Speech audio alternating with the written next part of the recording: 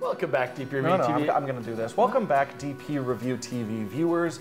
It's Jordan Drake here, and we're going to continue our ongoing series looking at the good and bad of different camera brands, largely because we got a freak uh, snowstorm in the spring, and I, I normally go sit there no, and you normally sit. So today we're going to talk about Nikon, which I'm very excited to do because the Z9 has completely changed the way that I look at the brand. Uh, very exciting camera. So I am going to be talking about all the benefits, and Chris here is going to be complaining about some things with Nikon. But I like all that Nikon's done We, too. I don't we have really. established a format, so we are gonna stick to that uh, because I don't don't, wanna want to be revisit it. cop. I will be good cop. He will be bad cop. Uh, so, anyways, I didn't introduce you. This is the Monk of Moroseness, the Doctor Downer, Grandpa Grumpy, oh, I mean, I'll give you that. I have teenagers, and I would be very grumpy if that were Shush. true. Cranky Chrissy Niccolls is here joining me today. So let's get started talking about Nikon's autofocus. Mm. We've complained about Nikon's mirrorless autofocus for quite a while, but with the reintroduction of 3D tracking, things are a lot better.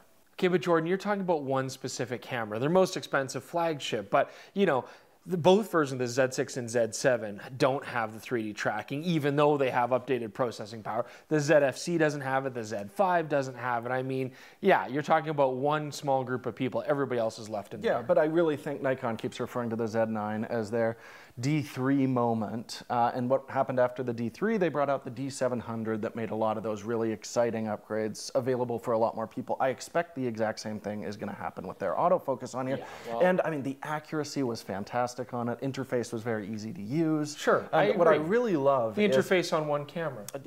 The one thing I really love is a lot of cameras have subject detection now, but the Nikon actually did a great job using automatic subject detection. So that means like you put it in 3D tracking for the vast majority of times, you're never going to have to touch that again. no matter what they do with the UI and you know even updating the old cameras, their their Nikon lens lineup still has probably the slowest autofocusing motors. I mean, Jordan, remember when we reviewed the 800 mm 6.3, we loved everything about that lens, and yes, it was pre-production, but the autofocus still did seem a little bit slow, pretty decent. But if there is room for improvement, that's probably where they need to do it. Well, I'm just looking at it in the same way like the Z9, their most expensive body, has that great autofocus system. They brought out the new 400 millimeter 2.8 with a very fast autofocusing system. Hopefully, we'll see that in more lenses in the future. So next, let's talk about Nikon's camera lineup. Now, at first glance, it looks like a wonderful fairy tale. I mean, you've got the Z50, the ZFC, you've got Z5, 6, 7, and 9.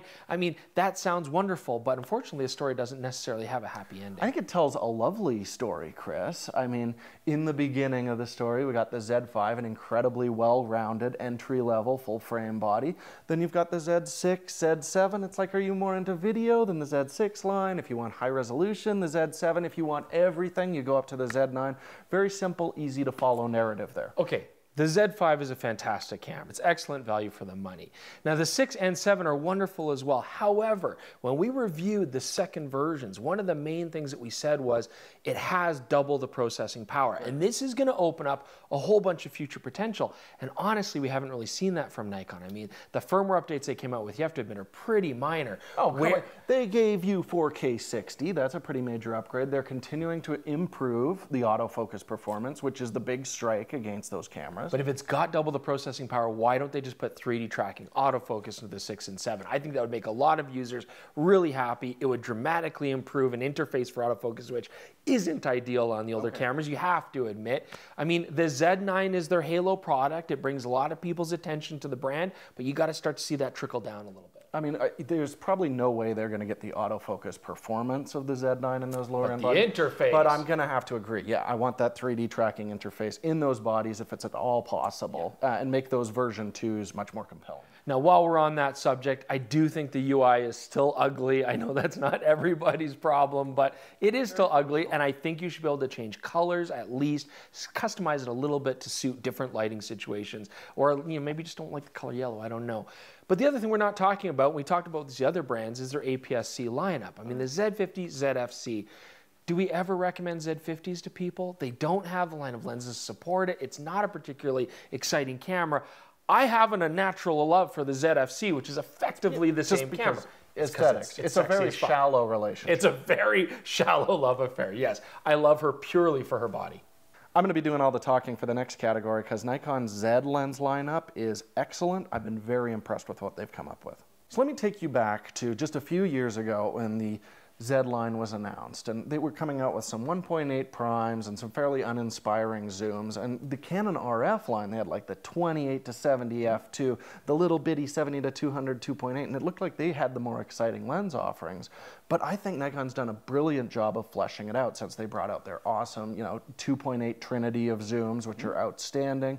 I love those 1.8 primes are just reasonably priced, but optically just fantastic. Okay. And that's an area where Canon really hasn't really hit yet. Look, though, okay, I agree with you. What Nikon has come up with, I have no problem with. They've done a great job. Where I have a problem with the Nikon lens lineup is what they haven't come up with because there's glaring things missing. First off, not a single 1.4 prime lens to be found. No 28, no 24, no 20, like nothing. 1.8s, yes, but people are going to demand faster primes. Where are the fast ultra wide lenses for astrophotography? Right. Nowhere, they'll right? get there. No. You know what? They make a 50 millimeter 1.2. They make a 58 millimeter 0.95. Okay. Yes. But what they don't make is a fast 85. Not even an 85 millimeter 1.4. They don't make a 35 millimeter 1.4. They don't make a 24 millimeter 1.4. I think that's a big glaring gap. Chris, those are pretty niche focal lengths. I think like what the mainstream is screaming for is for them to flesh out their Noct series. We got to get the wide angle Noct, the telephoto Noct, just a whole series of f.9. You're being very ridiculous right now. Nobody can afford Nocts. So, you know, here's the thing, Jordan. Their APS-C lineup also basically non-existent. They're ignoring that, right? And I know a lot of other companies are as well, but either support the format or let it go, right? Make the ZFC full frame, forget it. Otherwise, let's get some nice, cute little primes, 35 mil 1.8 DXs for their APS-C lineup. That would be great, right? I know that what they're doing is making FTZ adapters. The version 2 supports a lot of their legacy glass, and they want to rely on that legacy glass.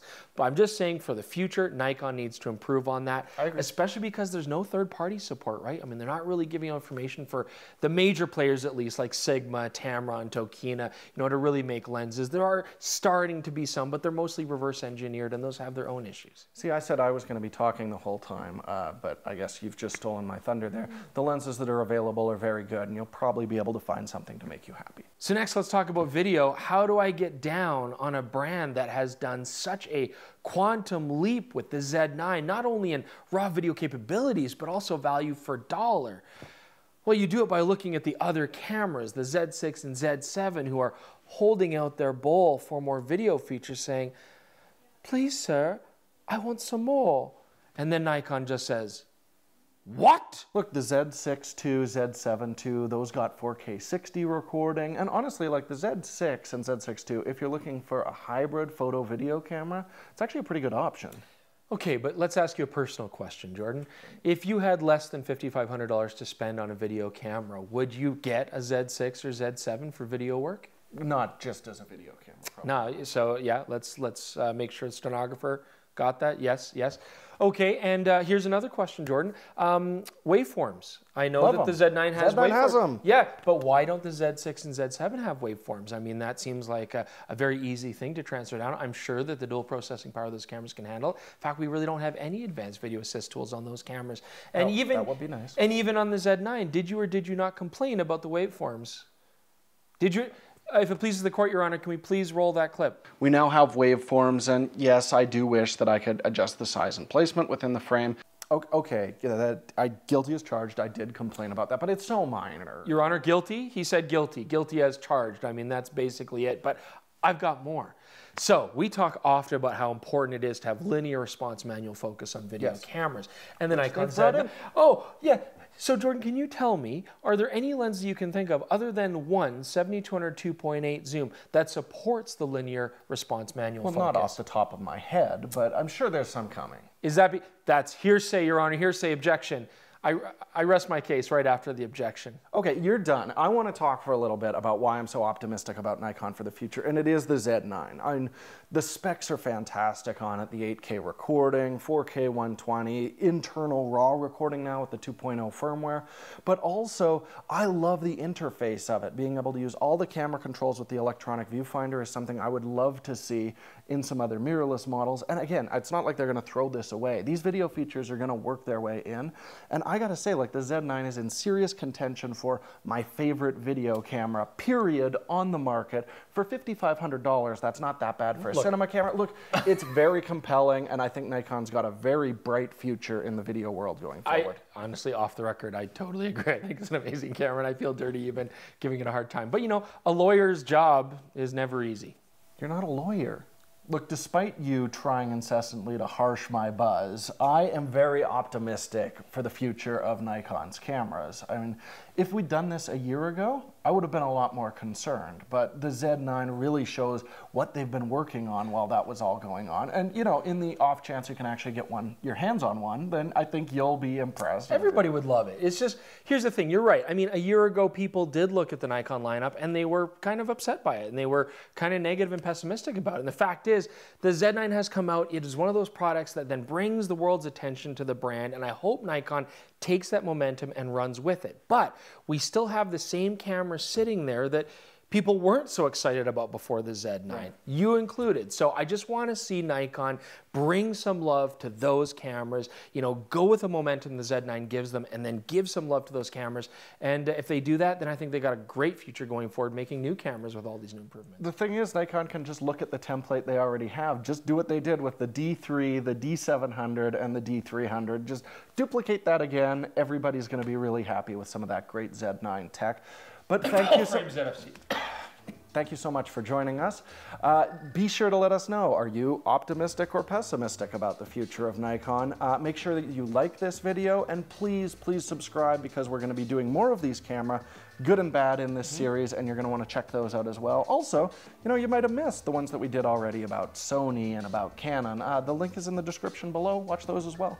Thanks so much for watching. We'll see you all again very soon for more DP Review TV.